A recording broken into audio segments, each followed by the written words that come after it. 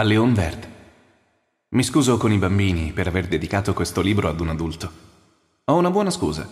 Questo adulto è il miglior amico che ho al mondo. Ho un'altra scusa. Questo adulto può capire tutto, anche i libri per i bambini. Ho una terza scusa. Questo adulto vive in Francia, dove ha freddo e fame. Ha bisogno di essere consolato. Se tutte queste scuse non sono abbastanza, voglio dedicare questo libro al bambino che è stato. Tutti i grandi sono stati bambini, ma può essere che lo abbiano dimenticato. Dunque correggo la mia dedica a Leon Verde, quando era un bambino. 1.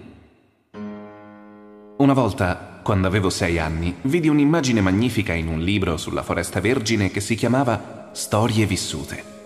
Rappresentava un serpente boa che inghiottiva una bestia. Ecco una copia del disegno.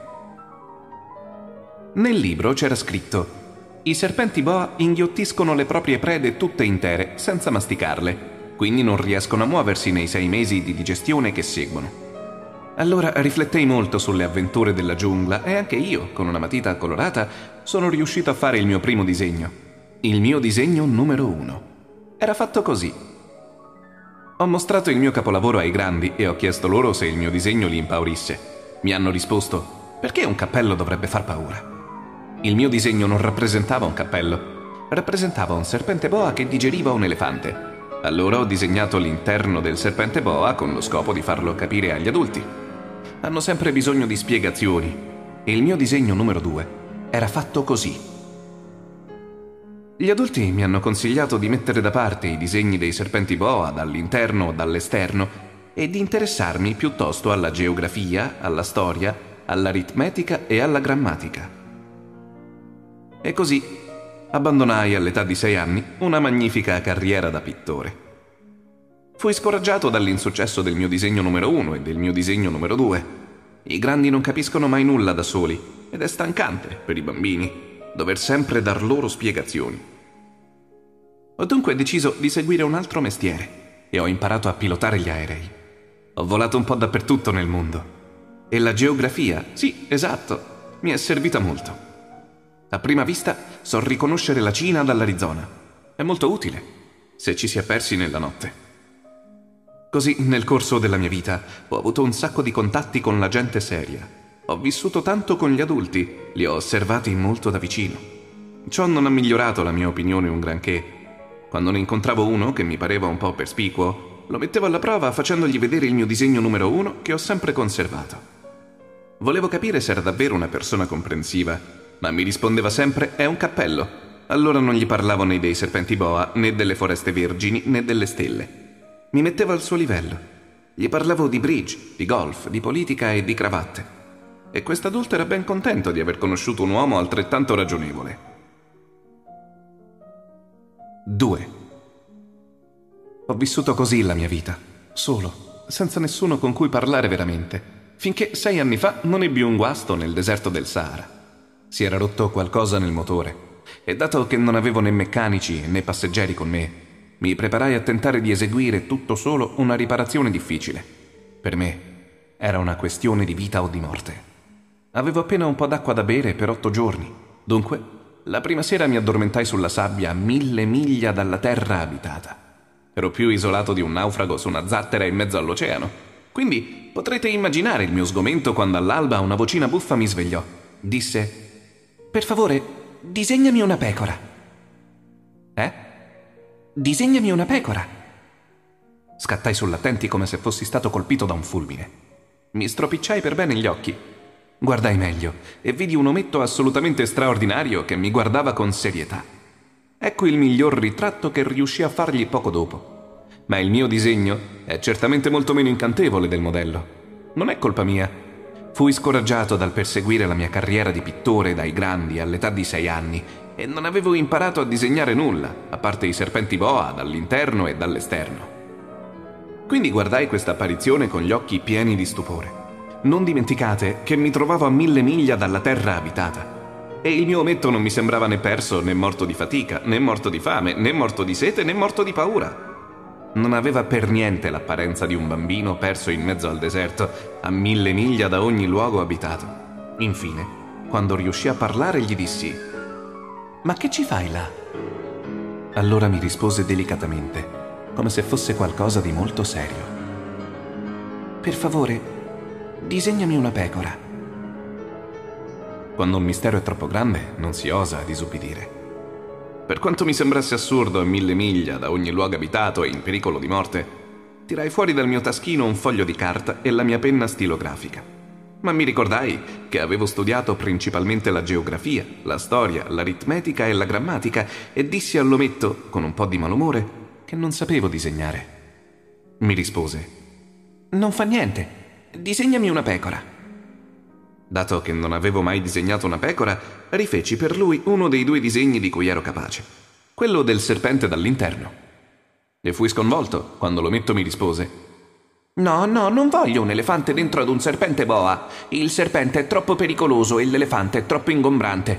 A casa mia è tutto piccolo. Ho bisogno di una pecora. Disegnami una pecora. Allora disegnai. Guardò attentamente e disse: No, questa è troppo malata. Fanne un'altra. Il mio amico sorrise gentilmente, con indulgenza. Se vedi bene, questa non è una pecora, è un ariete. Ha le corna. Allora rifeci ancora il mio disegno, ma fu rifiutato, proprio come quelli prima. Questa è troppo vecchia. Voglio una pecora che viva a lungo. Allora, pieno di impazienza, dato che non vedevo l'ora di smantellare il mio motore, scarabocchiai questo disegno. E controbattei. Questa è la cassa. La pecora che vuoi è dentro. Ma fui davvero sorpreso di vedere che il viso del mio giovane giudice si illuminò. È proprio come la volevo. Pensi che questa pecora abbia bisogno di molta erba? Perché? Perché a casa mia è tutto molto piccolo. Basterà sicuramente. Ti ho dato una pecora piccolina. Inclinò la testa verso il disegno. Non così piccola. Oh, guarda! Si è addormentata. E fu così che conobbi il piccolo principe. 3.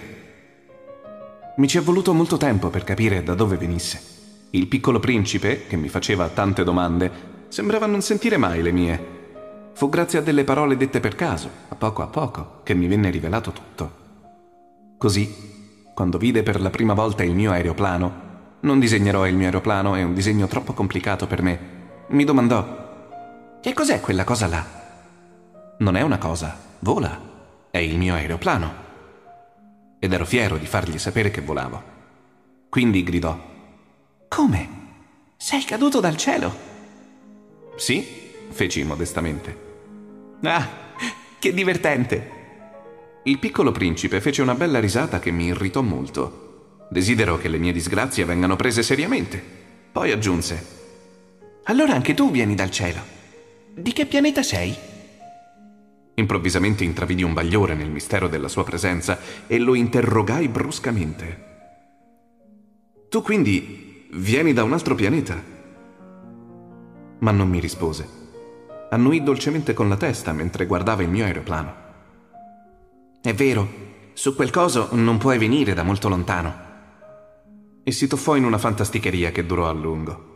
Poi tirò fuori il disegno della pecora dalla tasca e si immerse nella contemplazione del suo tesoro. Potrete immaginare come fui intrigato da quella mezza confidenza sugli altri pianeti, quindi cercai di saperne di più. Da dove vieni, mio piccolo ometto? Dov'è casa tua? Dove vuoi portare la mia pecora? Mi rispose dopo un silenzio meditativo. La cosa più bella della cassetta che mi hai regalato è che di notte gli farà da casa. Certamente, e se fai il bravo, ti regalo anche una corda a cui legarlo di giorno. E un paletto. La mia proposta sembrò scioccarlo. Legarlo? Che idea buffa! Ma se non lo leghi andrà ovunque e si perderà. E il mio amico scoppiò nuovamente a ridere. Ma dove vuoi che vada? Non importa, dritto per dritto. Allora il piccolo principe rispose in tutta serietà. Non fa niente, è talmente piccola casa mia. E forse, con un po' di malinconia, aggiunse. Dritto per dritto non si può andare molto lontano. 4. Così appresi una seconda cosa molto importante, ovvero che il suo pianeta era appena più grande di una casa. Questa cosa non mi sorprese molto. Sapevo bene che, a parte i grandi pianeti come la Terra, Giove, Marte, Venere, a cui hanno dato un nome, ce ne sono centinaia di altri che sono a volte talmente piccoli che risulta difficile vederli col telescopio. Quando un astronomo ne scopre uno, lo chiama con un numero invece che un nome. Lo chiama, per esempio, asteroide 325. Ho delle valide ragioni per credere che il pianeta da cui veniva il piccolo principe fosse l'asteroide B612. Questo asteroide fu visto solo una volta al telescopio nel 1909 da un astronomo turco, il quale fece una grande dimostrazione della propria scoperta ad un congresso internazionale di astronomia. Ma nessuno gli credette a causa dei suoi abiti. I grandi sono fatti così. Fortunatamente per la reputazione dell'asteroide B612, un dittatore turco impose al proprio popolo, sotto pena di morte, di vestirsi all'europea. L'astronomo fece nuovamente la sua dimostrazione nel 1920 indossando un abito molto elegante e questa volta tutti furono d'accordo con la sua opinione. Se vi ho raccontato questi dettagli riguardanti l'asteroide B612 e se vi ho confidato il suo numero, è a causa degli adulti.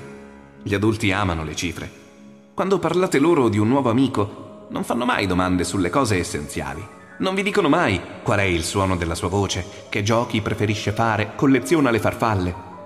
Invece domandano quanti anni ha, quanti fratelli ha, quanto pesa, quanto guadagna suo padre. Solo allora pensano di conoscerlo. Se dite ai grandi ho visto una bella casa di mattoni rosa con dei gerani alle finestre e delle colombe sul tetto, non riescono ad immaginarsi questa casa.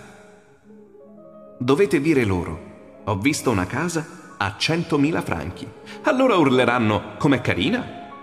Così voi dite loro. La prova che il piccolo principe è esistito è che era incantevole, che rideva e che voleva una pecora. Quando uno vuole una pecora vuol dire che è esistito.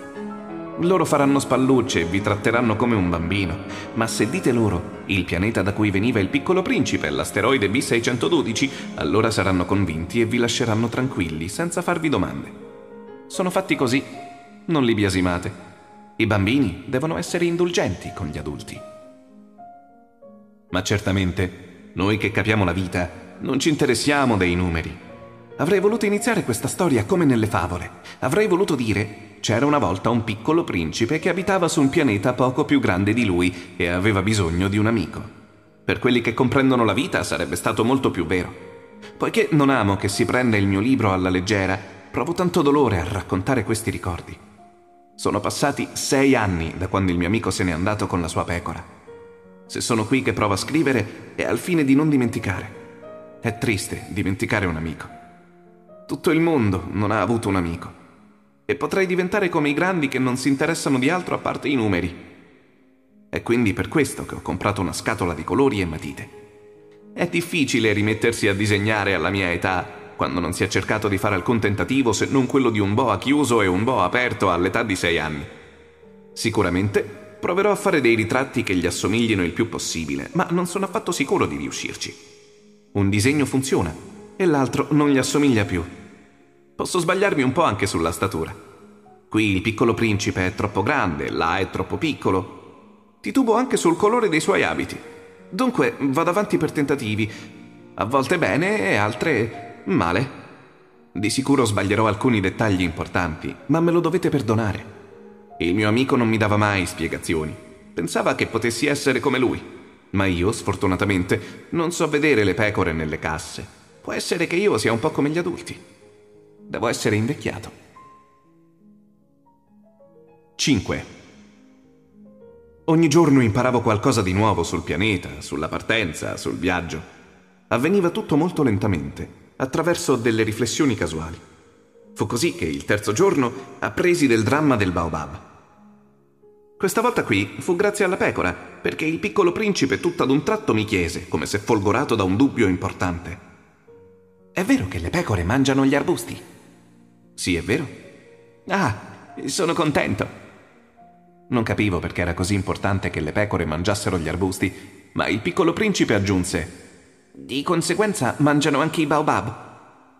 Feci notare al piccolo principe che i baobab non sono degli arbusti, ma degli alberi grandi come delle chiese, e che anche se avesse con sé una mandria di elefanti, quest'ultima non arriverebbe neanche alla cima di un solo baobab. L'idea della mandria di elefanti fece ridere il piccolo principe. Si dovrebbe metterli uno sopra l'altro. Ma il bambino rispose con saggezza. I baobab, prima di crescere, iniziano con l'essere piccolini. Giusto. Ma perché vuoi che le tue pecore mangino i baobab piccoli? Mi rispose, bene, vediamo, come se fosse ovvio. E fece un grosso sforzo di intelligenza per capire il problema. Infatti, sul pianeta del piccolo principe c'erano, come su tutti i pianeti, delle buone e delle cattive erbe. Di conseguenza, dei semi buoni dalle erbe buone e dei semi cattivi dalle erbe cattive. Ma i semi sono invisibili dormono nel segreto della terra finché ad uno di questi non viene la fantasia di svegliarsi. Allora si stiracchia e per prima cosa spinge timidamente un ramoscello innocuo verso il sole. Se si tratta di un ramoscello di ravanello o di rosa lo si può lasciar stare, ma se si tratta di una pianta cattiva bisogna sradicarla immediatamente appena la si riconosce. Ma c'erano dei semi terribili sul pianeta del piccolo principe. Erano i semi di Baobab. Il suolo del pianeta era infestato. Ma di un baobab, se lo si prende troppo tardi, non ci si può più sbarazzare. Ricopre tutto il pianeta. Ci sprofonda dentro con le radici. E se il pianeta è troppo piccolo, e se i baobab sono troppo numerosi, lo fanno esplodere. È questione di disciplina, mi disse dopo il piccolo principe. Quando si finisce con la propria toeletta mattutina, bisogna svolgere attentamente la toeletta del pianeta. Bisogna sforzarsi di strappare regolarmente i baobab appena li distingui dalle rose, alle quali assomigliano molto quando sono piccoli. È un lavoro molto noioso, ma molto facile. E un giorno mi consigliò di applicarmi a fare un bel disegno, in modo da far capire tutta la questione dei baobab ai bambini. Se dovessero viaggiare un giorno, mi disse, potrebbe servire. A volte è scomodo rimandare il lavoro ma se si tratta di Baobab è sempre una catastrofe. Conoscevo un pianeta abitato da un pigro. Aveva trascurato tre arbusti. E sulle indicazioni del piccolo principe disegnai quel pianeta.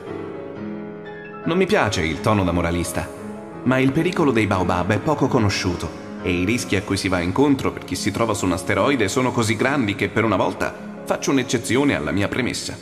Dico, bambini, state attenti ai Baobab. Lo faccio per avvertire i miei amici di un pericolo a cui vanno incontro da molto tempo, proprio come me. Ecco perché ho lavorato molto a quel disegno là. La lezione che ci insegna vale la pena. Forse vi chiederete, perché non ci sono in questo libro altri disegni così grandiosi come il disegno dei Baobab? La risposta è molto semplice. Ci ho provato, ma non ci sono più riuscito. Quando ho disegnato i Baobab, ero spinto da un sentimento di urgenza. 6. Ah, piccolo principe, ho conosciuto così poco a poco la tua piccola vita malinconica. Non hai avuto molto tempo per distrarti, a parte la dolcezza dei tramonti. Ho imparato questo tuo nuovo dettaglio il quarto giorno, di mattina, quando mi hai detto Mi piacciono molto i tramonti. Andiamo a vederne uno. Ma dobbiamo aspettare. Aspettare cosa? Aspettare che il sole tramonti. Avevi l'aria sorpresa e poi hai riso di te stesso. E mi hai detto, penso di essere sempre a casa mia. In effetti, è risaputo in tutto il mondo, quando è mezzogiorno negli Stati Uniti, il sole tramonta in Francia. Basterebbe andare in Francia in un minuto per assistere al tramonto. Sfortunatamente la Francia è troppo lontana, ma sul tuo pianeta, così piccolo, basta che giri la sedia di qualche passo e vedi il crepuscolo ogni volta che lo desideri. Un giorno ho visto il sole tramontare 44 volte. E poco dopo hai aggiunto. Sai, quando si è tanto tristi è bello vedere un tramonto. Il giorno delle 44 volte eri triste. Ma il piccolo principe non mi rispose. 7. Il quinto giorno, sempre grazie alla pecora, mi fu rivelato il segreto della vita del piccolo principe. Mi chiese improvvisamente, senza preamboli, come il frutto di un problema di lunga data a cui aveva meditato in silenzio. Una pecora, se mangia gli arbusti, mangia anche i fiori. Una pecora mangia tutto ciò che trova. Anche i fiori con le spine? Sì, anche i fiori con le spine. Allora le spine a che servono? Non lo sapevo. Ero occupato a cercare di svitare un bullone troppo stretto nel mio motore. Ero troppo preoccupato perché il guasto mi iniziò a sembrare davvero grave e l'acqua a disposizione mi dava motivo di temere il peggio. Le spine a che servono? Il piccolo principe non rinunciava mai ad una domanda dopo che l'aveva fatta. Ero irritato dal mio bullone e risposi con la prima cosa che mi venne in mente. Le spine non servono a nulla, sono pura cattiveria da parte dei fiori. Oh. Ma dopo un breve silenzio, aggiunse con una sorta di risentimento. Non ti credo. I fiori sono deboli, sono ingenui, si rassicurano come possono. Si credono terribili con le loro spine. Io non risposi. In quel preciso istante dissi tra me e me: Se questo bullone resiste ancora, gli do un colpo di martello. Il piccolo principe interruppe nuovamente le mie riflessioni. E tu credi che i fiori... Ma no, ma no, non credo niente, ho risposto a caso, mi sto occupando di cose serie. Mi guardò stupefatto. Di cose serie? Mi guardò col mio martello in mano e le dita unte di nero attorcigliate ad un oggetto che gli pareva orribile. Tu parli come i grandi. Mi fece vergognare un po'. Spietato aggiunse. Tu confondi tutto, tu mischi tutto. Era davvero arrabbiato. Tremava al vento con i suoi capelli dorati. Conosco un pianeta dove c'è un signore paonazzo. Non ha mai annusato un fiore, non ha mai guardato una stella, non ha mai amato qualcuno, non ha mai fatto altro che le sue addizioni. E tutto il giorno ripete, proprio come te, sono un uomo serio io, sono un uomo serio. E questo lo fa gonfiare con orgoglio. Ma non è un uomo, è un fungo. Un che? Un fungo. Il piccolo principe era tutto pallido e pieno di collera. È da milioni di anni che i fiori fabbricano le proprie spine. Ed è da milioni di anni che le pecore mangiano comunque i fiori. E non è serio cercare di capire perché i fiori si fanno così tanti problemi a creare delle spine che non servono a nulla? Non è importante la guerra tra pecore e fiori? non è più seria ed importante dei conti di un grosso signore paonazzo. E se io, io stesso conosco un fiore unico al mondo che non esiste da nessun'altra parte se non sul mio pianeta e che una pecorella può annientare in un colpo solo, così una mattina qualunque, senza rendersi conto di ciò che sta facendo, questo non è importante. Arrossì e poi riprese. Se qualcuno ama un fiore di cui ne esiste solo un esemplare tra milioni e milioni di stelle e basta guardarlo soltanto per essere felici, allora si dice il mio fiore è là da qualche parte. Ma se la pecora mangia il fiore, è come se per lui tutto a un tratto tutte le stelle si spegnessero. E questo non è importante. Non poté aggiungere altro. Scoppiò improvvisamente in un mare di singhiozzi. Calò la notte. Lasciai i miei strumenti, non mi importava più del mio martello, del mio bullone, della sete o della morte. C'era su una stella, su un pianeta, il mio, la Terra, un piccolo principe da consolare. Lo presi tra le mie braccia, lo cullai, gli dissi, il fiore a cui vuoi bene non è in pericolo. Disegnerò una museruola per la tua pecora, disegnerò un'armatura per il tuo fiore. Io non avevo molto da dire.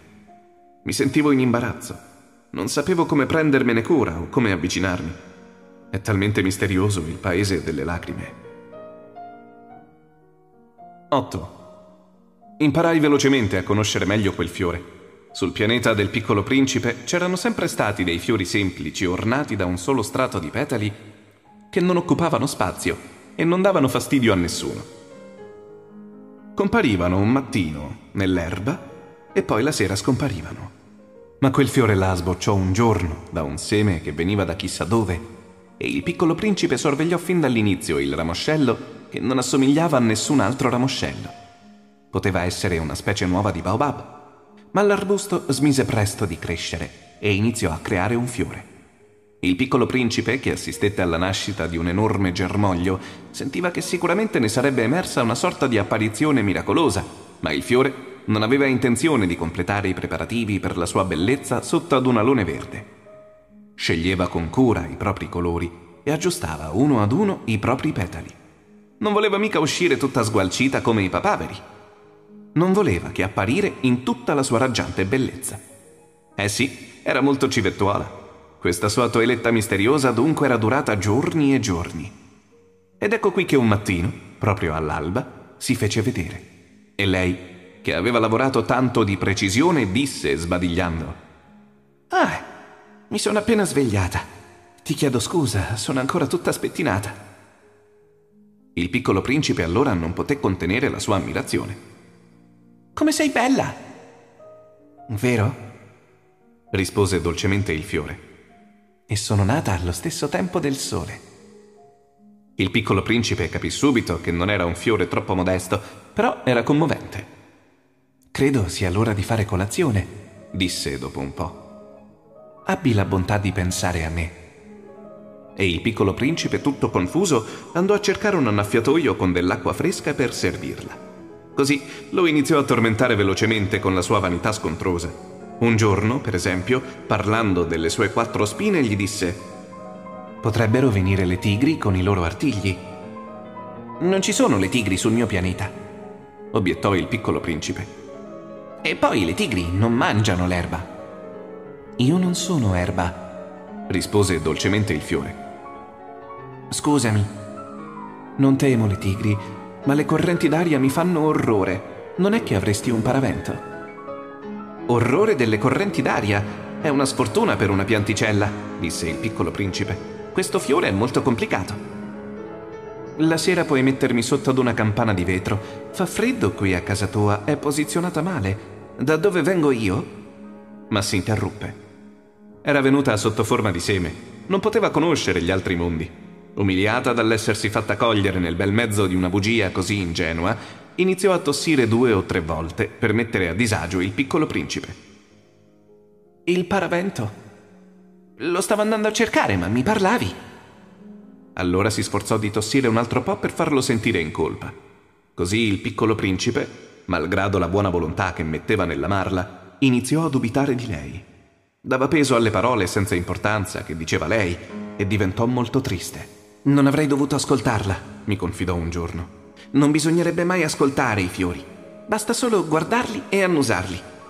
Il mio fiore profumava tutto il mio pianeta, ma non sapevo rallegrarmene. La storia degli artigli, che mi aveva così infastidito, avrebbe dovuto farmi tenerezza. Continuò. Non capivo niente allora. Avrei dovuto giudicare le sue azioni e non le sue parole. Profumava e irradiava tutto. Non mi sarei mai dovuto arrabbiare. Avrei dovuto comprendere tutto l'affetto che c'era dietro ai suoi stratagemmi. I fiori sono così contraddittori, ma ero troppo giovane per saperla amare. 9. Credo che per partire approfittò della migrazione di uno stormo di uccelli selvatici. La mattina della partenza mise il pianeta in ordine. Spazzò con cura i suoi vulcani attivi. Aveva due vulcani attivi ed erano molto comodi per riscaldare la colazione. Aveva anche un vulcano inattivo, ma, come diceva sempre, non si sa mai. Spazzava ugualmente anche quello inattivo. Se sono ben puliti, i vulcani bruciano delicatamente e regolarmente, senza eruzioni. Le eruzioni vulcaniche sono come i fuochi dei caminetti. Evidentemente sulla nostra Terra siamo troppo piccoli per pulire i vulcani. È per questo che sono causa di così tanti problemi. Così il piccolo principe strappava, con un po' di malinconia, gli ultimi germogli di Baobab. Pensava non sarebbe più tornato. Tutte queste faccende domestiche quel mattino gli sembrarono dolci, e quando innaffiò il fiore un'ultima volta e si preparava a metterlo sotto alla campana di vetro, sentì che stava per piangere. Addio, disse al fiore, ma lei non rispose. Addio, ripeté il piccolo principe. Il fiore tossì, ma non era raffreddore. Sono stata sciocca, disse lei infine. Ti chiedo perdono. Cerca di essere felice. Rimase sorpreso dall'assenza di rimproveri. Rimase lì tutto sconcertato con la campana di vetro a mezz'aria. Non capiva quella dolcezza mite. Ma sì, ti voglio bene, disse il fiore. Tu non ne sapevi nulla per colpa mia. Non importa, tu sei stato sciocco quanto me. Cerca di essere felice. Lascia stare la campana, non la voglio più. Ma il vento? Non ho il raffreddore. L'aria fresca della notte mi farà bene. Sono un fiore. Ma le bestie? Devo sopportare due o tre bruchi se voglio conoscere le farfalle. Sembra siano belle. Se no, chi mi verrà a trovare? Tu sarai lontano. In quanto alle bestie grandi, non ho per niente paura. Ho gli artigli. E mostrò ingenuamente le quattro spine. Poi aggiunse: non restare lì impalato, è fastidioso. Hai deciso di partire. Vattene. Perché non voleva che la vedesse piangere. Era un fiore talmente orgoglioso. 10. Si trovava nella regione degli asteroidi 325, 326, 327, 328, 329 e 330. Iniziò dunque a visitarli per cercare un'occupazione e istruirsi. Il primo era abitato da un re, il re che indossava un mantello di ermellino color porpora, sedeva su un trono semplice ma alquanto maestoso. Ah, ecco qui un suddito. Urlò quando scorse il piccolo principe. E il piccolo principe si chiese: Come fa a riconoscermi se non mi ha mai visto? Non sapeva che per i re il mondo è molto semplice. Tutti gli uomini sono sudditi. Avvicinati perché ti veda meglio, disse il re tutto fiero di essere re per qualcuno. Il piccolo principe cercò dove sedersi, ma il pianeta era tutto coperto dal magnifico mantello di Ermellino. Rimase dunque in piedi e siccome era stanco sbadigliò. È maleducazione sbadigliare davanti ad un re, disse il monarca. Te lo proibisco. Ma non posso farne a meno, rispose il piccolo principe tutto confuso. Ho fatto un viaggio molto lungo e, e non ho dormito.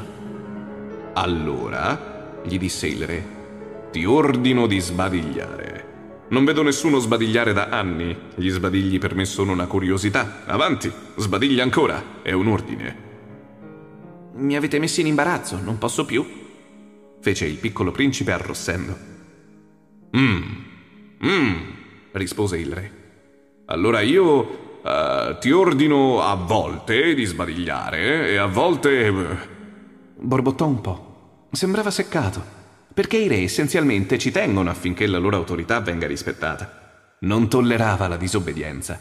Era un monarca assoluto, ma siccome era buono, impartiva degli ordini ragionevoli. Se ordinassi, disse, se ordinassi ad un generale di diventare un uccello di mare, e se il generale non obbedisse, non sarebbe colpa del generale, sarebbe colpa mia. Posso sedermi? chiese timidamente il piccolo principe. Ti ordino di sederti, rispose il re che rimaneva maestosamente avvolto dal mantello di Ermellino. Ma il piccolo principe rimase sorpreso. Il pianeta era minuscolo. Su cosa mai poteva regnare il re? Sire, gli disse, vi chiedo scusa se vi faccio questa domanda. Io ti ordino di farmi una domanda, si affrettò a rispondere. Sire, su che cosa regnate? Su tutto rispose il re con gran semplicità. Su tutto? Il re fece un gesto che comprendeva il proprio pianeta, gli altri pianeti e le stelle. Su tutto questo? disse il piccolo principe. Su tutto questo, rispose il re. Non solo era un monarca assoluto, ma era anche un monarca universale. E le stelle vi obbediscono? Ma certo, disse il re. Obbediscono immediatamente. Io non tollero l'indisciplina. Un potere del genere meravigliò il piccolo principe. Se l'avesse posseduto lui, avrebbe potuto assistere non a 44 tramonti, ma a ben 72 tramonti, o a 100, o addirittura a 200 tramonti nell'arco della stessa giornata, senza mai spostare la sedia. E siccome si sentì un po' triste al ricordo del suo piccolo pianeta abbandonato, decise di chiedere un favore al re. Vorrei vedere un tramonto. Mi potete fare un favore? Ordinate al sole di tramontare. Se ordinassi ad un generale di volare da fiore in fiore come una farfalla, o di scrivere una tragedia, o di trasformarsi in un uccello di mare, e se il generale non eseguisse l'ordine che io gli ho impartito, chi avrebbe torto? Voi, disse con sicurezza il piccolo principe. Esatto. Bisogna esigere da ciascuno ciò di cui è capace disse il re. L'autorità mette radici sulla ragione. Se tu ordinassi al tuo popolo di andarsi a buttare al mare, farà la rivoluzione. Io ho il diritto di esigere l'obbedienza affinché i miei ordini siano ragionevoli. Allora il mio tramonto? chiese il piccolo principe che mai si dimenticava di una domanda fatta. Avrai il tuo tramonto. Lo esigerò. Ma secondo la mia scienza di governo attenderò che le condizioni siano favorevoli. E quando sarà? domandò il piccolo principe. Mmm, mm, disse il re che iniziò a consultare un enorme calendario. Mm, sarà verso... Verso... sarà verso le 7.40 e vedrai come sarò ben obbedito. Il piccolo principe sbadigliò. Si rammaricava del suo tramonto mancato e dopo un po' iniziò ad annoiarsi. Non ho più niente da fare qui, disse al re. Riparto. Non ripartire, rispose il re, che era molto fiero di avere finalmente un suddito. Non partire. Ti farò eh, ministro. Ministro di cosa? Della giustizia. Ma non c'è nessuno da giudicare qui. Non si sa mai, gli disse il re. Non ho ancora fatto il giro del reame. Sono molto vecchio, non c'è spazio per una carrozza e mi stanco a camminare. Oh, ma io ho già visto, disse il piccolo principe dando un'occhiata all'altra parte del pianeta. Non c'era nessuno neanche lì. Allora giudicherai te stesso, rispose il re. È la cosa più difficile. È molto più difficile giudicare se stessi che gli altri. Se riuscirai a giudicarti, sarai un vero saggio. Io, disse il piccolo principe, posso giudicarmi ovunque, non ho bisogno di abitare qui. Ah, um, uh, disse il re. Credo che da qualche parte sul mio pianeta ci sia un vecchio ratto. Lo condannerai a morte di volta in volta, così la sua vita dipenderà dalla tua giustizia. Ma gli darai la grazia per economizzarlo. Ce n'è solo uno. Io, rispose il piccolo principe, non voglio condannare a morte nessuno e penso che andrò via. No, disse il re. Ma il piccolo principe, che aveva già iniziato i suoi preparativi, non voleva far soffrire il vecchio monarca e disse se Sua Maestà desidera essere obbedita puntualmente, mi potrebbe impartire un ordine ragionevole. Potrebbe, per esempio, ordinarmi di partire entro un minuto. Mi sembra che le condizioni siano favorevoli. Il re non rispose. Il piccolo principe esitò e poi con un sospiro partì. I grandi sono molto strani, disse il piccolo principe tra sé e sé mentre viaggiava. 11. Il secondo pianeta era abitato da un vanitoso. Ah, ecco che mi visita un ammiratore. Urlò da lontano il vanitoso quando vide arrivare il piccolo principe, dato che per i vanitosi tutti sono ammiratori. Buongiorno, disse il piccolo principe. Avete un cappello buffo. Mi serve a salutare, rispose il vanitoso. Per salutare quando mi acclamano, sfortunatamente non passa mai nessuno di qui. Ah sì? Fece il piccolo principe non capendo.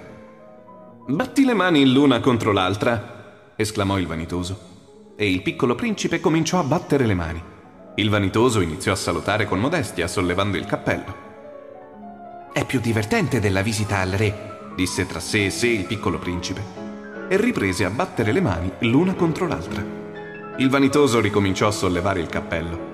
Dopo cinque minuti dello stesso esercizio, il piccolo principe si stancò della monotonia del gioco. E cosa bisogna fare per far cadere il cappello? domandò il piccolo principe. Ma il vanitoso non sentì. I vanitosi sentono solo le lodi. Mi ammiri molto, vero? chiese al piccolo principe. Che significa ammirare? Ammirare significa riconoscere che sono l'uomo più bello, più ben vestito, più ricco e più intelligente del pianeta. Ma sei da solo sul tuo pianeta? Fammi il piacere, ammirami lo stesso. Ti ammiro, disse il piccolo principe facendo spallucce. Ma perché ti interessa così tanto? E il piccolo principe se ne andò. I grandi sono davvero bizzarri, disse semplicemente tra sé e sé dopo aver ripreso il viaggio. 12. Il pianeta successivo era abitato da un bevitore. Questa visita fu breve ma provocò al piccolo principe un gran senso di tristezza. Cosa ci fai lì? disse al bevitore che restava impalato in silenzio dinanzi alla sua collezione di bottiglie vuote e piene.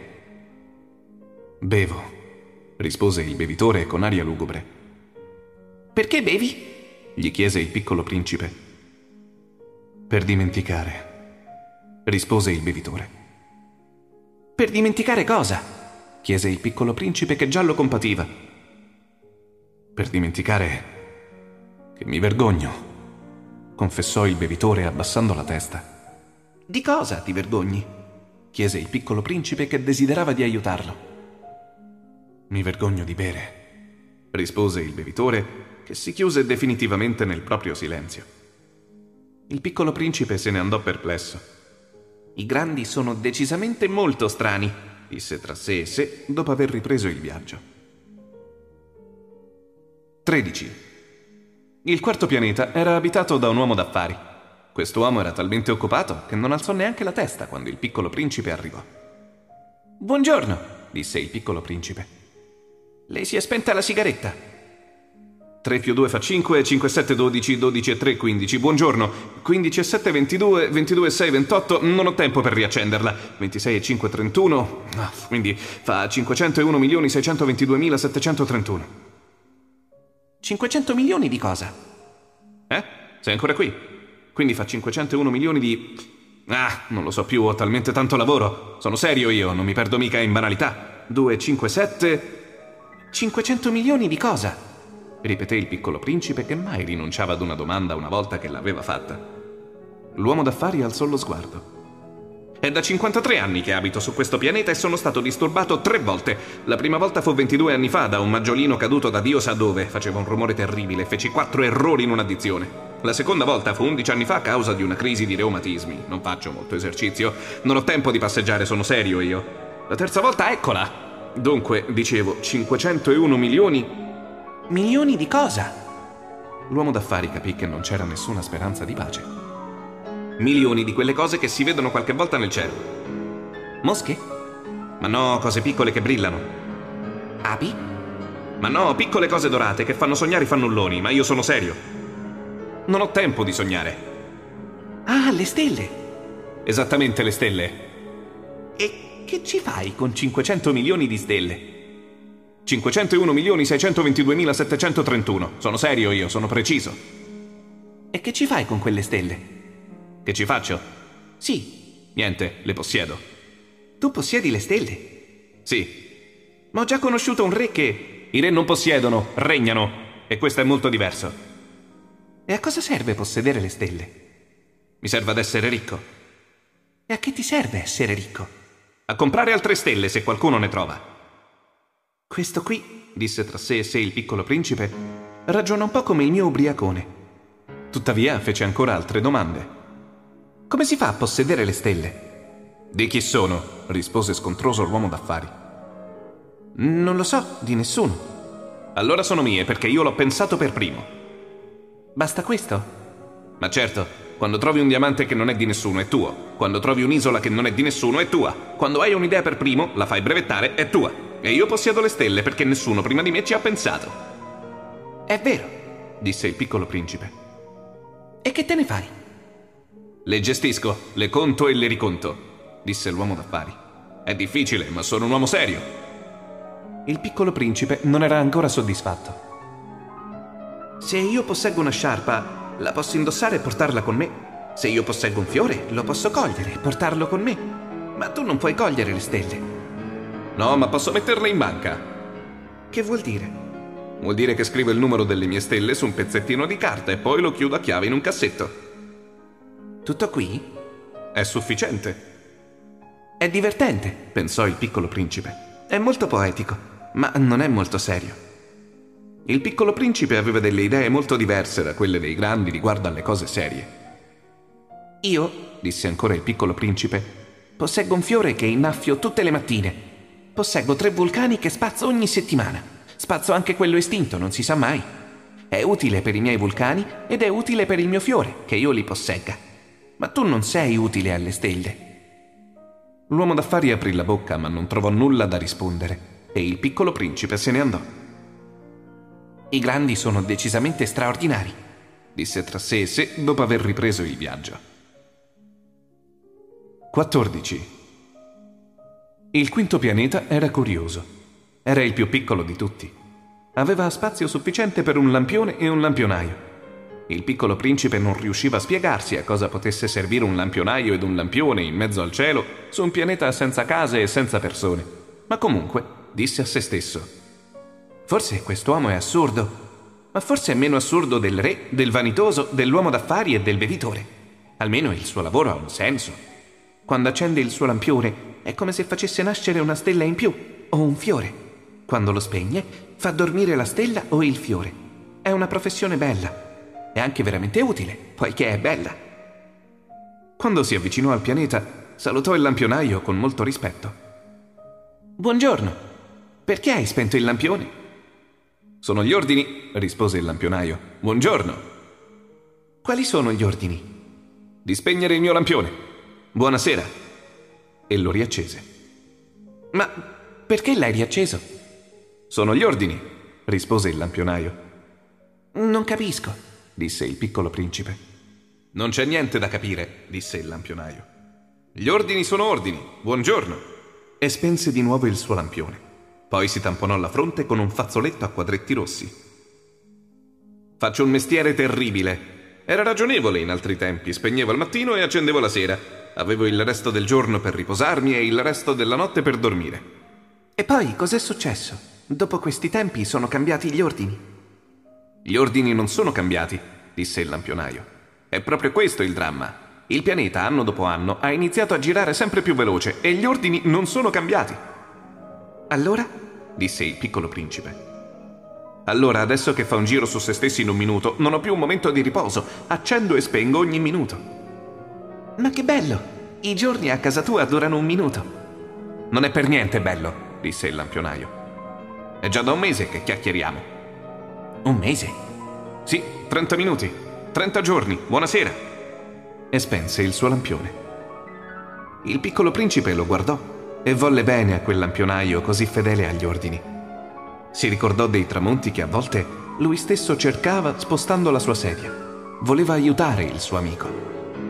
Sai, conosco un modo per farti riposare quando lo vorrai. Lo voglio sempre, disse il lampionaio perché si può essere sia fedeli che pigri allo stesso tempo. Il piccolo principe continuò. Il tuo pianeta è talmente piccolo che si può fare il giro in tre passi. Devi solo camminare molto lentamente per rimanere sempre al sole. Quando ti vuoi riposare, puoi camminare e il giorno durerà quanto vuoi tu. Non va bene, disse il lampionaio. A me nella vita piace dormire. Questa sì che è una sfortuna, disse il piccolo principe. Una bella sfortuna, rispose il lampionaio, e spense il suo lampione. Quell'uomo lì, disse il piccolo principe mentre proseguiva il suo viaggio, sarebbe stato disprezzato da tutti gli altri, dal re, dal vanitoso, dal bevitore e dall'uomo d'affari. Però è l'unico che non mi sembri ridicolo. Forse perché si occupa di qualcosa che non sia se stesso. Sospirò con un po' di rammarico e aggiunse: Quell'uomo là è l'unico con cui avrei potuto fare amicizia ma il suo pianeta è davvero troppo piccolo. Non c'è spazio per tutti e due. Ciò che il piccolo principe non volle confessare fu che gli dispiaceva lasciare quel pianeta, perché ogni giorno veniva benedetto da 1440 tramonti. 15. Il sesto pianeta era dieci volte più grande. Era abitato da un vecchio signore che scriveva su degli enormi libri. Ecco un esploratore, disse quando arrivò il piccolo principe. Il piccolo principe si sedette sulla cattedra e sbuffò un po'. Aveva viaggiato tanto. Da dove vieni? chiese l'anziano signore. Che cos'è quel grande libro? chiese il piccolo principe. Che cosa fa qui? Sono un geografo, rispose il vecchio signore. Cos'è un geografo? È uno scienziato che sa dove si trovano i mari, i fiumi, le città, le montagne e i deserti. Molto interessante, disse il piccolo principe. Ecco un vero mestiere, disse, dando un'occhiata al pianeta del geografo. Non aveva ancora mai visto un pianeta così maestoso. Il suo pianeta è molto bello. Ci sono degli oceani. Non posso saperlo, disse il geografo. Ah, il piccolo principe era deluso. E le montagne? Non posso saperlo, disse il geografo. E le città, e i fiumi, e i deserti? Neanche questo posso saperlo, disse il geografo. Ma lei è un geografo? Sì, esatto, disse il geografo. Ma non sono un esploratore. Mi mancano assolutamente gli esploratori. Non è il geografo che conta le città, i fiumi, le montagne, i mari, gli oceani e i deserti. Il geografo è troppo importante per andare in giro. Non può lasciare il proprio studio. Tuttavia riceve gli esploratori li interroga e prende nota dei loro ricordi. E se i ricordi di uno di loro gli paiono interessanti, il geografo apre un'inchiesta sulla moralità dell'esploratore. E perché? Perché l'esploratore che mente potrebbe causare delle catastrofi nei libri di geografia e anche un esploratore che beve troppo. E perché? Perché gli ubriaconi vedono doppio, quindi quando la moralità dell'esploratore sembra essere buona, si fa un'inchiesta sulla scoperta. E quindi va a vedere? No, è troppo complicato, ma si esige che l'esploratore fornisca delle prove. Per esempio, per la scoperta di una grossa montagna si esige che presenti delle grosse pietre. Il geografo improvvisamente si commosse. Ma tu? Tu vieni da lontano? Sei un esploratore? Descrivimi il tuo pianeta. E il geografo aprì il suo registro, temperò la sua matita. Le storie degli esploratori vengono scritte prima a matita e poi a penna quando l'esploratore fornisce delle prove. Allora, disse il geografo. Oh, casa mia, disse il piccolo principe. Non è molto interessante, è tutto molto piccolo. Ho tre vulcani, due attivi e uno inattivo, ma non si sa mai. Non si sa mai, ripeté il geografo. Ho anche un fiore. Non annotiamo i fiori. Perché? È la cosa più bella che c'è? Perché i fiori sono effimeri. Che significa effimeri? I libri di geografia, disse il geografo, sono i libri più seri che ci sono. Non passano mai di moda. È molto raro che una montagna cambi posizione. È molto raro che un oceano si svuoti delle proprie acque. Noi scriviamo delle cose eterne. Ma i vulcani si possono risvegliare, interruppe il piccolo principe.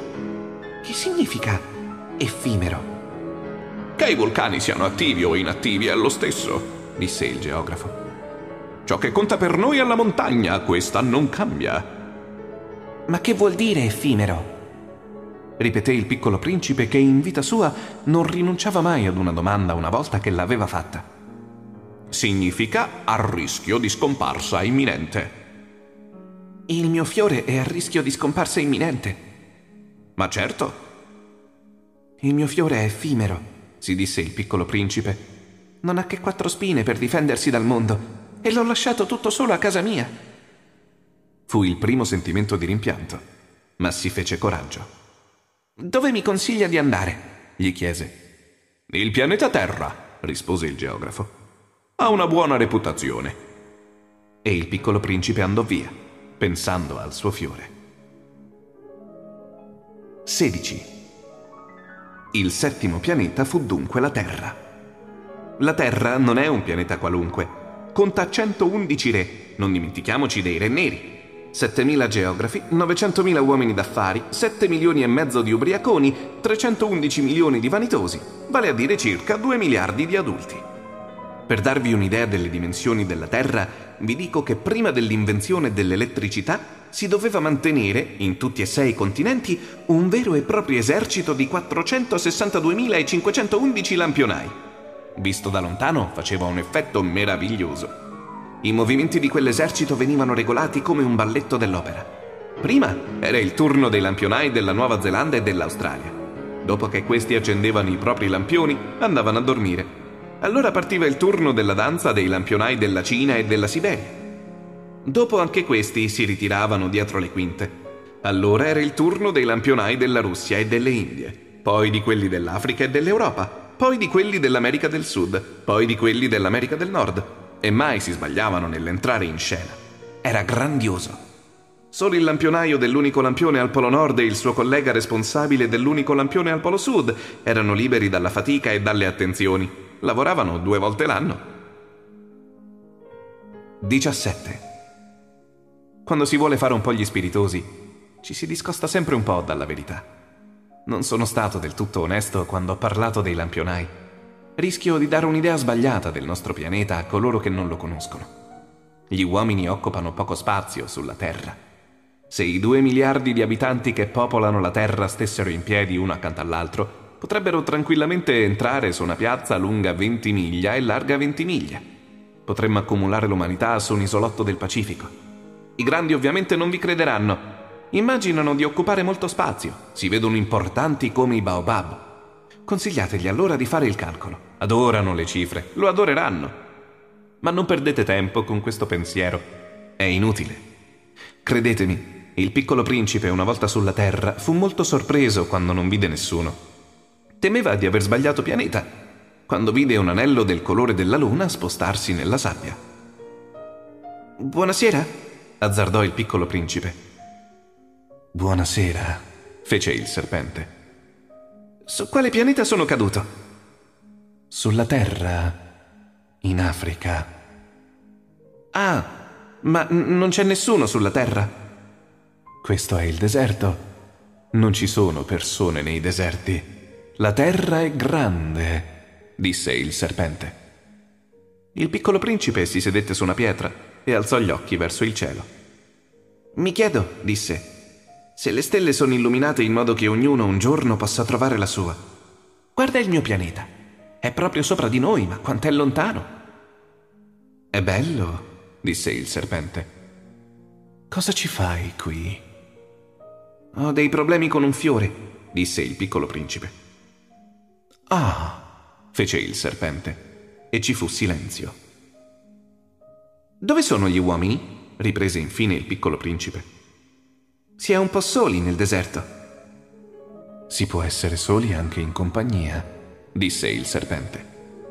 Il piccolo principe lo guardò a lungo. Sei una bestia strana, disse infine. Sei fino come un dito ma sono più potente del dito di un re. Il piccolo principe sorrise. Non puoi essere così potente. Non hai neanche le zampe, non puoi neanche muoverti. Posso portarti più lontano di una nave, disse il serpente. Si arrotolò sulla caviglia del piccolo principe come un braccialetto d'oro. Tutto quello che tocco lo rimando al paese da cui è venuto, disse ancora. Ma tu sei puro Vieni da una stella? Il piccolo principe non rispose. Mi fai pena, tu così debole, su questa terra di granito. Posso aiutarti un giorno, se dovesse mancarti troppo il tuo pianeta. Posso... Oh, ho capito bene, disse il piccolo principe. Ma perché parli per enigmi?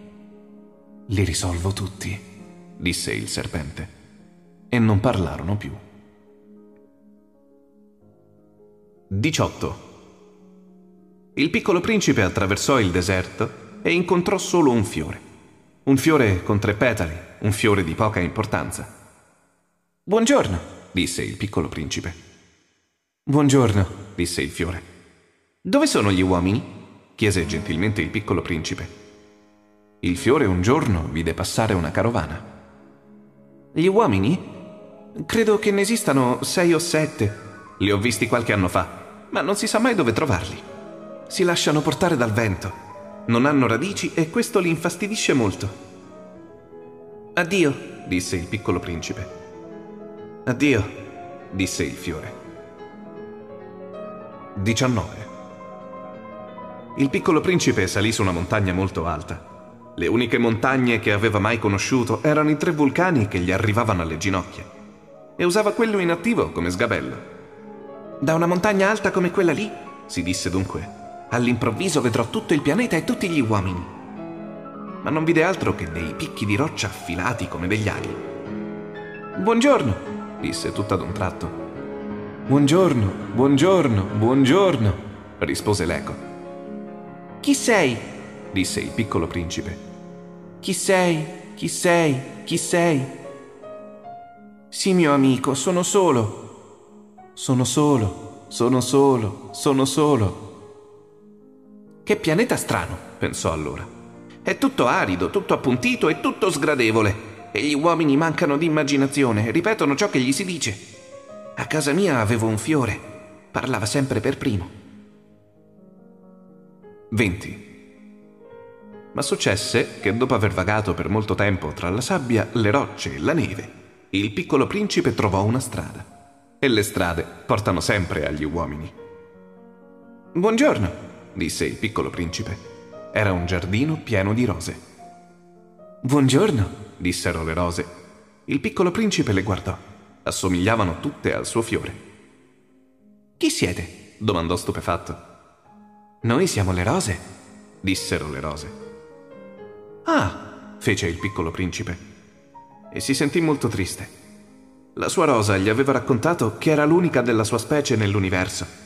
Ed ecco qui che ce n'erano 5.000, tutte simili in un solo giardino. Sarebbe molto irritata, si disse, se vedesse tutto ciò. Tossirebbe molto e farebbe finta di morire per evitare di essere ridicolizzata. E sarei obbligato a far finta di accudirla, altrimenti, per umiliarmi, si lascerebbe davvero morire. Poi si disse ancora. Mi credevo ricco con un fiore unico al mondo e invece non posseggo che una rosa ordinaria. Questa e i miei tre vulcani che mi arrivano alle ginocchia, di cui uno può essere che sia estinto per sempre. Tutto ciò non mi rende un gran principe e si addormentò nell'erba piangendo. 21. Buongiorno, disse la volpe. Buongiorno, disse il piccolo principe che si voltò ma non vide nessuno. Sono qui, disse la voce, sotto al melo. Chi sei? Sei molto carina. Sono una volpe, disse la volpe. Vieni a giocare con me, propose il piccolo principe. Sono così triste. Non posso giocare con te, non sono addomesticata. Ah, scusa, fece il piccolo principe. Ma subito dopo aggiunse: Che significa addomesticare? Tu non sei di qui, disse la volpe. Che cosa stai cercando? Cerco gli uomini, disse il piccolo principe. Che vuol dire addomesticare? Gli uomini, disse la volpe. Hanno i fucili, vanno a caccia, è imbarazzante, allevano le galline. È il loro unico interesse. Cerchi galline? No, cerco degli amici. Che significa addomesticare? È una cosa fin troppo dimenticata, disse la volpe. Significa creare dei legami. Creare dei legami? Certo, disse la volpe. Ora tu per me non sei altro che un bambino simile a centomila bambini e non ho bisogno di te e tu neanche hai bisogno di me. Io per te non sono altro che una volpe che assomiglia a centomila altre volpi. Ma se tu mi addomestichi, avremo bisogno l'uno dell'altra. Tu per me sarai unico al mondo, io per te sarò unica al mondo. Penso di iniziare a capire, disse il piccolo principe. C'è un fiore, penso mi abbia addomesticato. È possibile, disse la volpe. Si vede di tutto sulla terra. Oh, ma, ma non è sulla terra, disse il piccolo principe. La volpe sembrava molto intrigata. Su un altro pianeta? Sì. Ci sono cacciatori su questo pianeta? No. Molto interessante. E le galline? No. Niente, perfetto, sospirò la volpe. Ma poi tornò al suo pensiero. La mia vita è monotona. Io do la caccia alle galline, gli uomini danno la caccia a me. Tutte le galline si assomigliano e tutti gli uomini si assomigliano, quindi mi annoio un po' ma se tu mi addomestichi, la mia vita si illuminerà. Riconoscerò che il rumore di un passo sarà diverso da tutti gli altri passi. Gli altri passi mi fanno nascondere sottoterra. I tuoi passi mi chiameranno fuori dalla mia tana come musica. E poi guarda, vedi quei campi di grano laggiù? Io non mangio il pane. Il grano per me è completamente inutile. I campi di grano non mi ricordano nulla. E questo è triste. Ma tu hai i capelli color oro. Allora sarà meraviglioso quando mi avrai addomesticata. Il grano, che è anche dorato, mi farà ricordare di te. E allora amerò il rumore del vento nel grano. La volpe divenne silenziosa, guardava il piccolo principe. Per favore, addomesticami, disse. Lo vorrei molto, rispose il piccolo principe.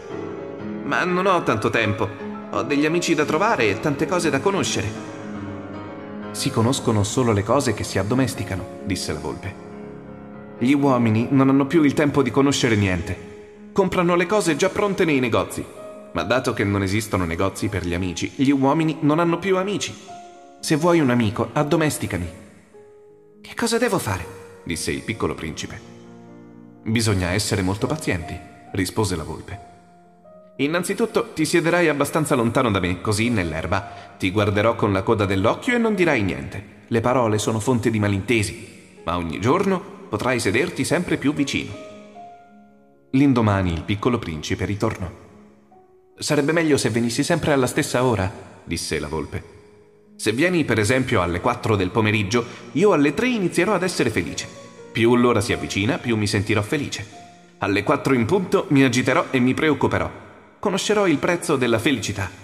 Ma se tu vieni ad un'ora qualunque, non saprò mai a che ora preparare il mio cuore. Bisogna avere dei riti. Che cos'è un rito? chiese il piccolo principe. Anche questa è una cosa abbastanza dimenticata, disse la volpe. È ciò che rende un giorno diverso dagli altri giorni, un'ora diversa dalle altre ore.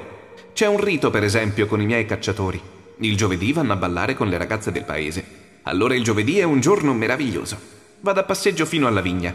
Ma se i cacciatori andassero a ballare un qualsiasi giorno, tutti i giorni si assomiglierebbero e io non avrei neanche un giorno di vacanza. E così il piccolo principe addomesticò la volpe. E quando l'ora della partenza si avvicinò... Ah, disse la volpe, Piangerò. È colpa tua, disse il piccolo principe. Non volevo farti del male, ma tu hai voluto che ti addomesticassi. Certo, disse la volpe. Ma piangerai. Allora non ci hai guadagnato niente. Sì che ci ho guadagnato. Grazie al colore del grano. Poi aggiunse. Va a rivedere le rose. Capirai che la tua è unica al mondo. Poi torna a salutarmi e ti regalerò un segreto. Il piccolo principe andò a rivedere le rose. Non assomigliate per niente alla mia rosa, ancora non siete nulla, disse loro.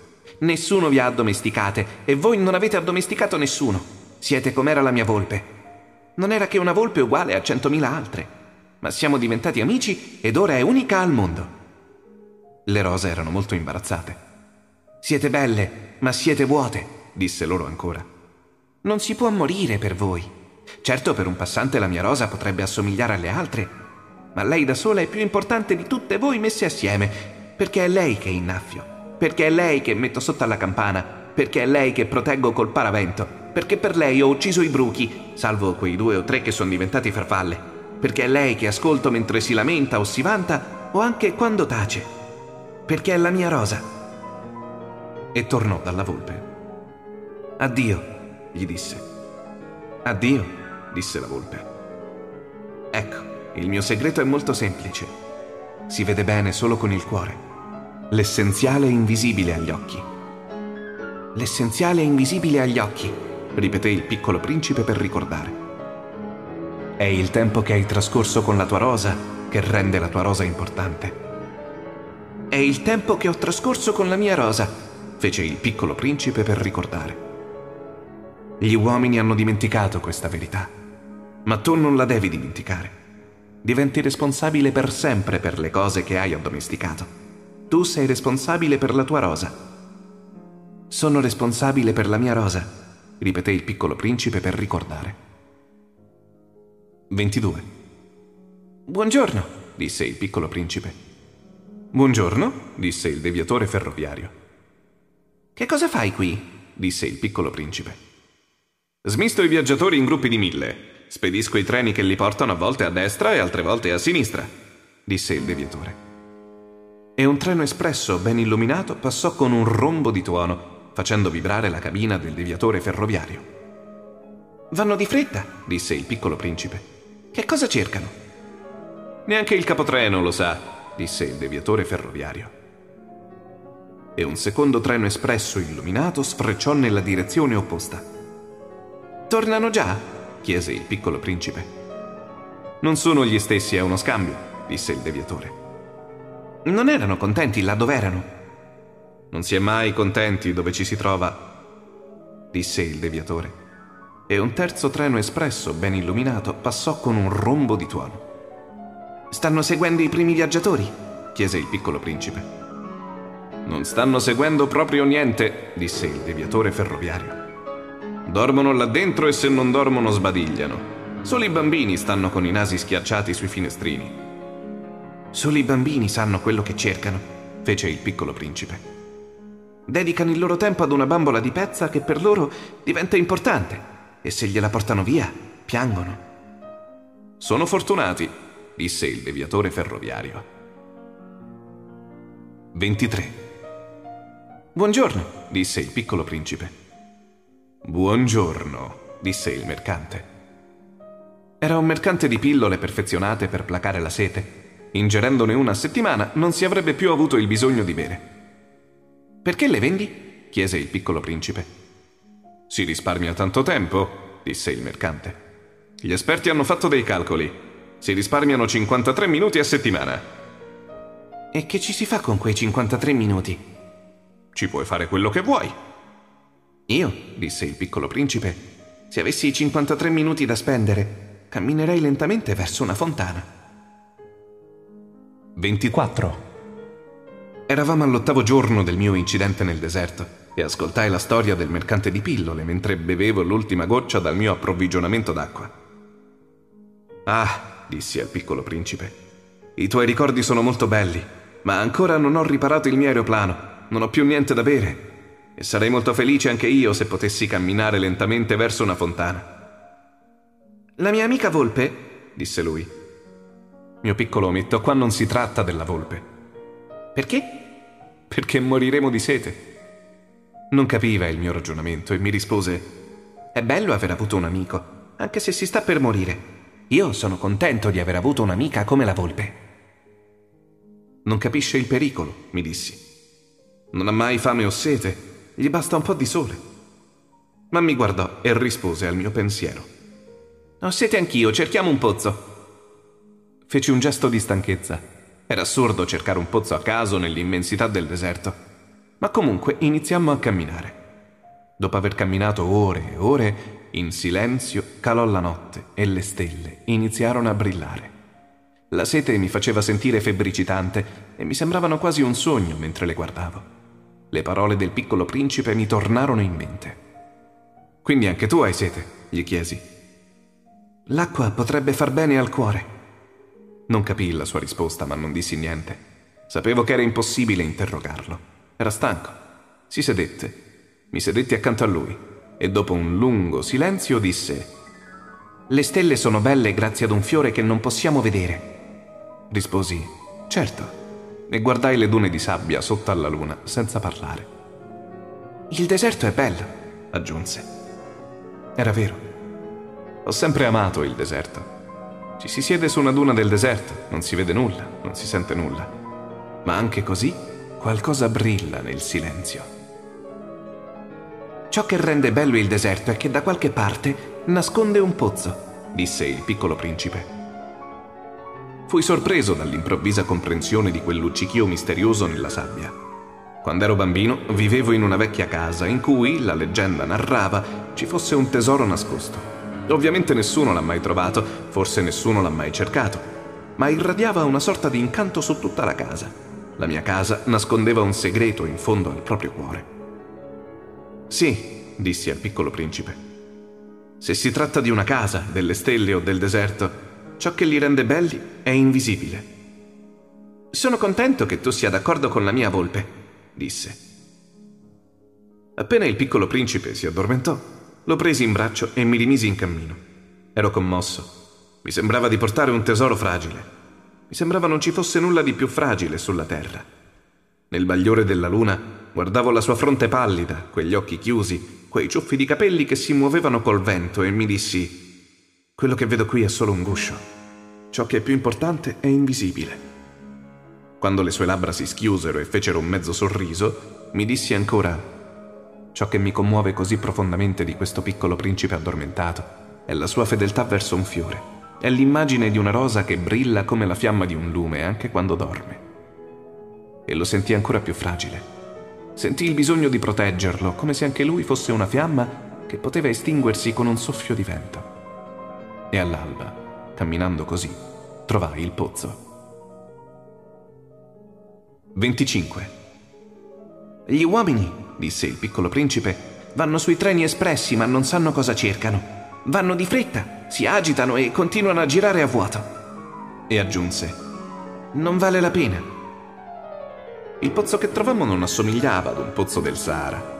I pozzi del Sahara sono semplici buchi scavati nella sabbia. Questo pozzo assomigliava al pozzo di un villaggio, ma non c'era nessun villaggio e mi sembrava di sognare. È strano, dissi al piccolo principe. È tutto pronto, la puleggia, il secchio e la corda. Rise e toccò la corda, attivò la puleggia.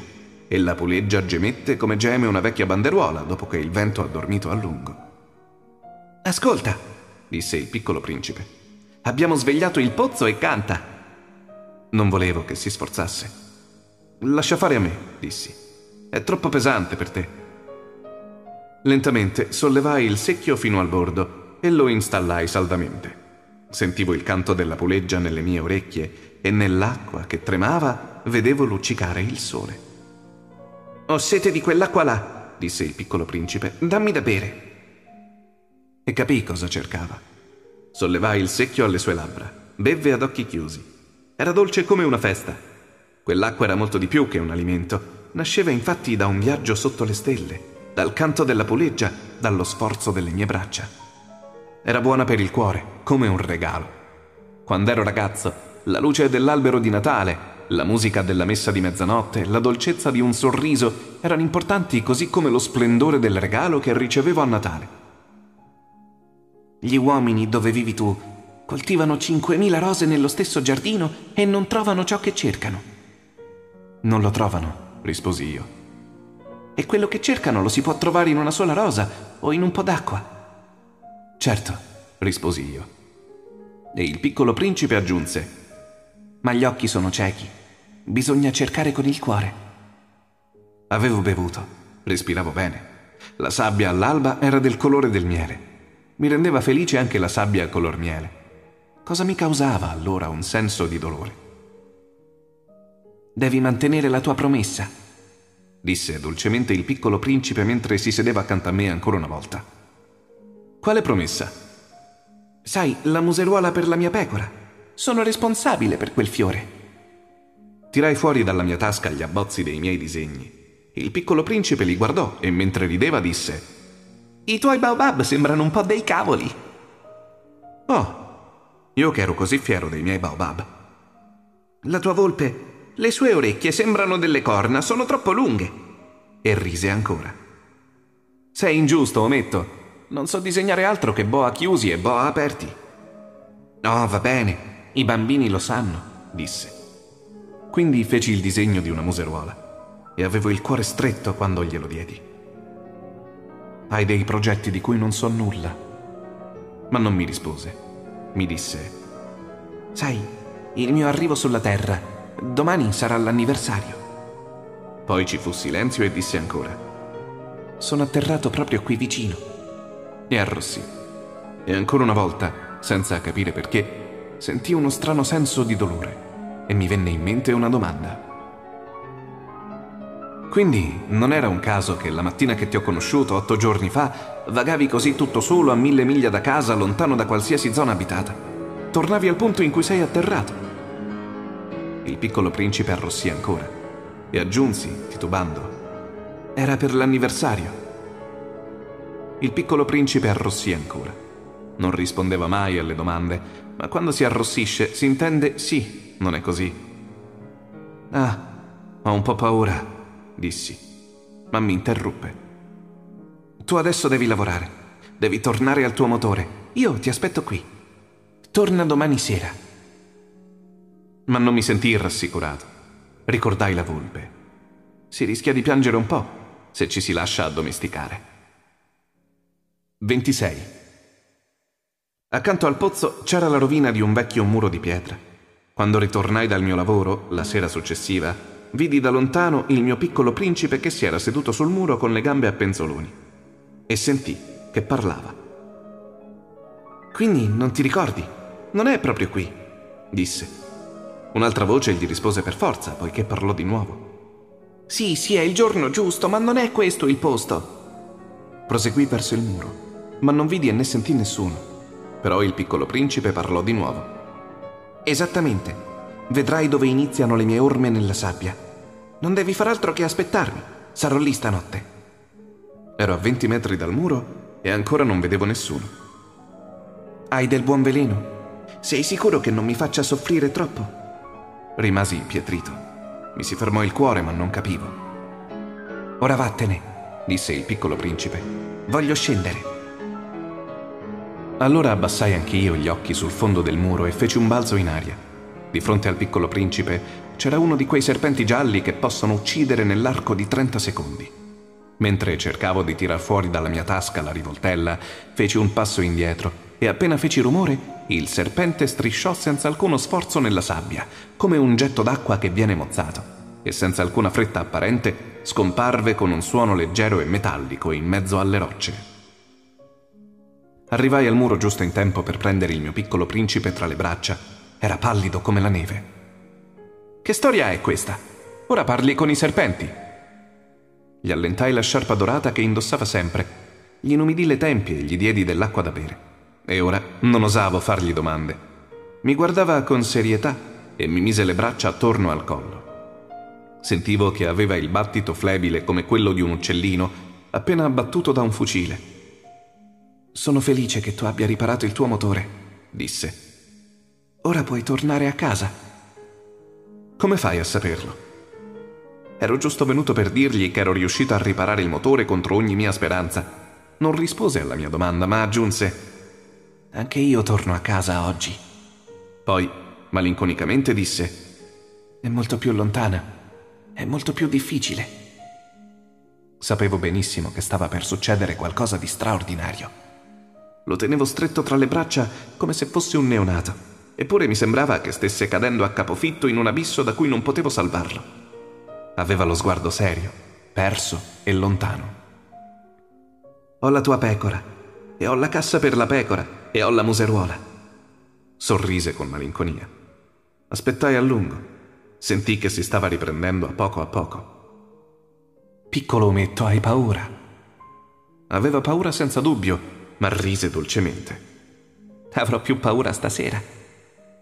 Di nuovo mi sentì gelare dentro da un senso di irreparabilità e capì che non sopportavo l'idea di non sentire più quella risata. Era per me come una fontana nel deserto. Piccolo ometto, voglio ancora sentirti ridere, ma mi disse. Questa notte sarà passato un anno. La mia stella si troverà esattamente sopra il posto in cui sono atterrato l'anno scorso. Piccolo ometto, dimmi che è un brutto sogno questa storia del serpente, dell'incontro e della stella. Ma non rispose alla mia domanda e disse le cose importanti non si vedono. Certo, è come per il fiore. Se ami un fiore che si trova su una stella, è dolce di notte guardare il cielo.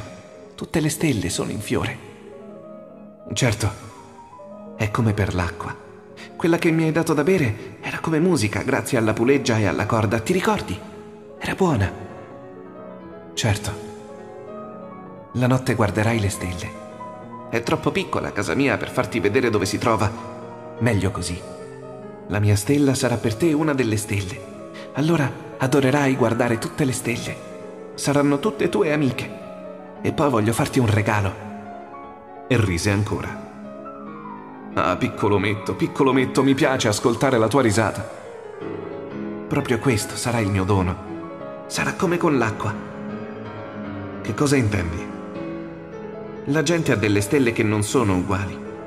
Per alcuni che viaggiano sono delle guide, per altri non sono altro che delle piccole luci.